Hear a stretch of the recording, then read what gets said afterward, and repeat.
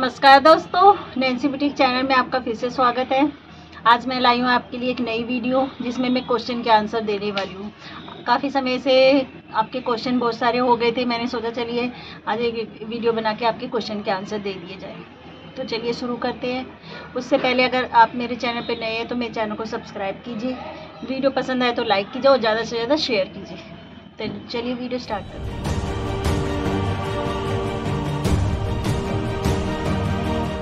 तो मेरी बेटी कमेंट पड़ेगी और मैं उसका जवाब दूँगी।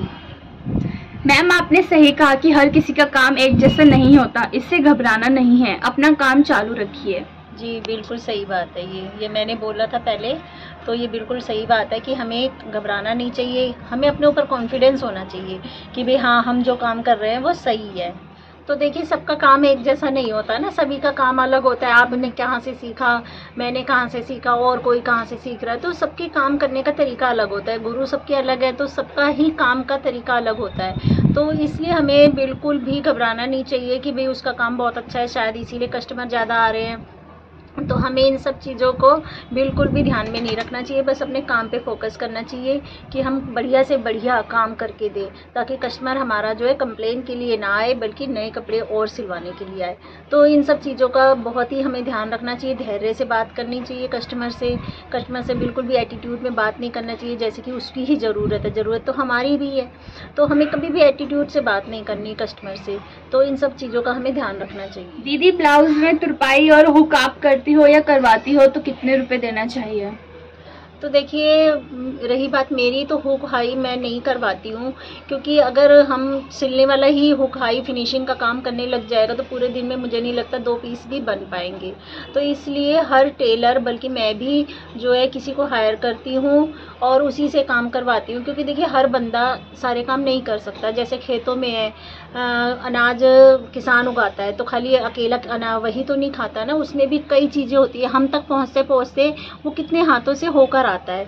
तो इसी तरह से हर काम का यही नियम होता है कि एक चैन बनी होती है कि कौन क्या करेगा। तो इसी तरह से कस्टमर जो है कपड़े हम सिलते हैं, उसको तुरपाई फिनिशिंग के लिए हम बाहर भिजवाते हैं। किसी को लेडीज़ लड़की कोई भी होता है, वो करते हैं तो उनको हायर करते हैं हम।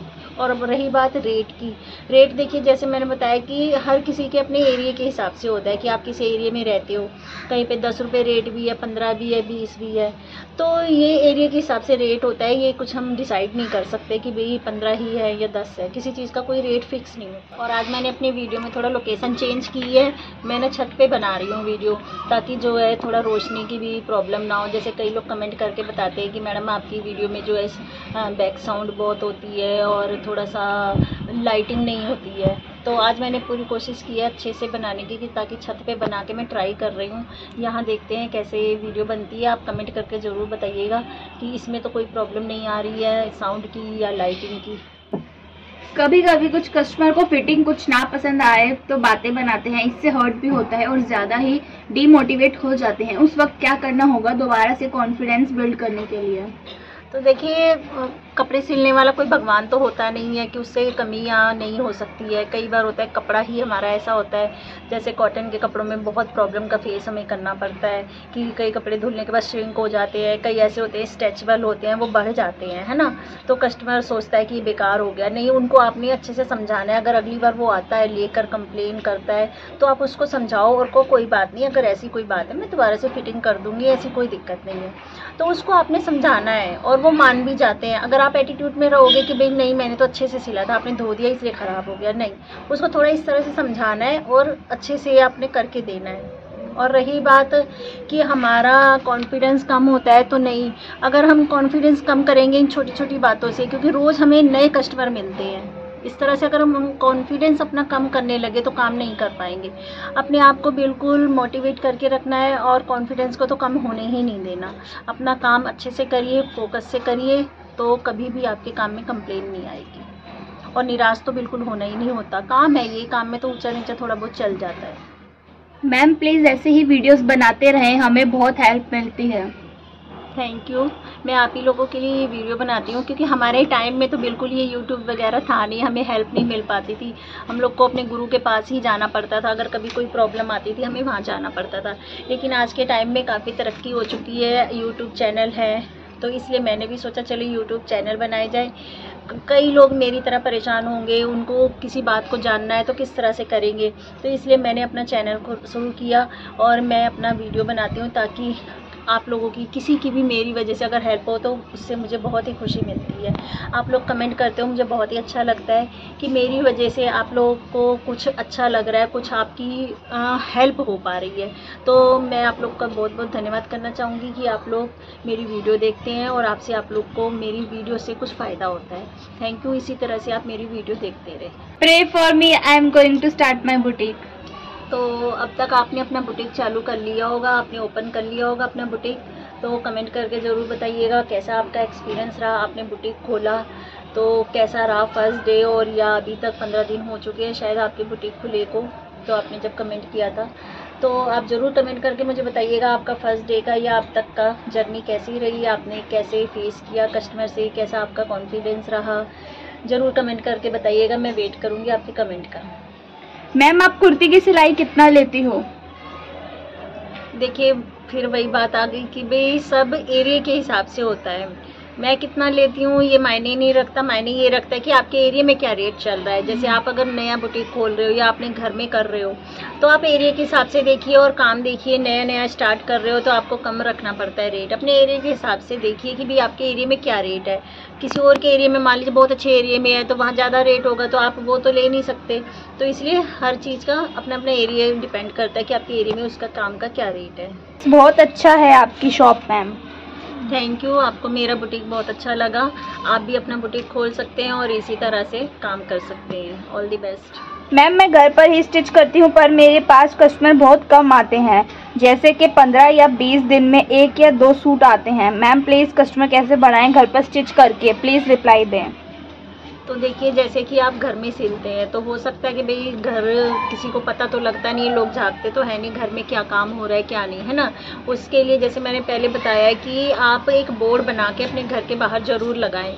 ताकि लोगों को पता चले कि आप सिलाई करते हैं। ऐसे तो खाली आपके जो जानने वाले होंगे आस पड़ोस के, उनको पता होगा तो इक्का दुक्का कोई सिलवाता होगा, रोज़ तो कोई कपड़े नहीं सिलवाता। लेकिन आप चाहते हैं कि भाई कस्टमर रेगुलर आपके पास आए तो उसके लिए आपको पब्लिसिटी तो करनी पड़ेगी। जैसे अगर आप रेगुलर काम करना चाहते हो ना तो आप बैनर बना के लगाएँ और पैम्पलेट ज़रूर डिस्ट्रीब्यूट करवाएँ। इससे क्या पब्लिसिटी होगी और जैसे कॉन्टैक्ट में कई लोग होंगे रिलेटिव होंगे, जानने वाले होंगे फ्रेंड सर्कल में होंगे तो उनको व्हाट्सअप पे आप अपना पैम्पलेट छाप के या मैटर लिख के कि भाई यहाँ पे सिलाई की जाती है तो उस तरह से भी व्हाट्सअप के थ्रू भी आप पब्लिसिटी कर सकते हो। पैम्पलेट बनवा के छपवा सकते हो। क्योंकि जब तक लोगों को पता नहीं लगेगा, तब तक वो आपके पास नहीं आएँगे ना। पंद्रह बीस दिन में एक सूट आ गया तो ये तो वो कोई वो बात नहीं हुई। अगर आप रेगुलर काम करना चाहते हैं तो आपको इस तरह से पब्लिसिटी करनी ही होगी। तब आपका बुटीक बहुत अच्छा चलेगा, कोई मायने नहीं रखता। आप घर से कर रहे हो कि बाहर। बस ये है कि कस्टमर को आने जाने वाले को दिखना तो चाहिए कि यहाँ कोई सिलाई करता है। तो उसके लिए आपको बोर्ड लगाना पड़ेगा। तो इस तरह से करिए, आपका काम बहुत अच्छा चलेगा। हाय मैम, जैसे आपने कहा कि स्टार्टिंग में सिलाई के रेट कम रखें बट मैंने पिछले दस महीने काफ़ी कम रेट रखे, पर इतना रिस्पांस नहीं मिल रहा और पैम्पलेट से तो मुझे एक भी कस्टमर नहीं मिला। चलिए, कोई नहीं, निराश नहीं होते हैं। होगा धीरे धीरे होगा, आप हिम्मत मत हारिए। और रही बात रेट कम की तो आप ये देखिए ना कि क्यों नहीं आ रहे कस्टमर जैसे मान लीजिए आप कपड़े सिलते हो, उनको दिया, और वो रिपीट कस्टमर हो रहा है कि नहीं हो रहा? अगर मान के चलिए वो कस्टमर रिपीट नहीं हो रहा, आपके पास कपड़े नहीं सिलवाने आ रहा तो हो सकता है आपकी थोड़ी सिलाई में कमी हो तो थोड़ा सा और अच्छे से आप सीख लीजिए। मैं ये कहूँगी, मैं ये नहीं कह रही आप कॉन्फिडेंस कम मत करिएगा। लेकिन देखिए कस्टमर नहीं आ रहा है इसका मतलब कहीं ना कहीं आप में थोड़ी सी कमी है। तो उसको आप दूर कीजिए, क्योंकि देखिए, हर इंसान निरंतर सीखता रहता है। हो सकता है आप प्लाजो वगैरह कुछ नए जो डिज़ाइन चलते हैं, वो ना कर पा रहे हो, या काम में थोड़ी सी फिनिशिंग में कमी हो। तो उसको थोड़ा सा आप दूर कर लीजिए कमियों को।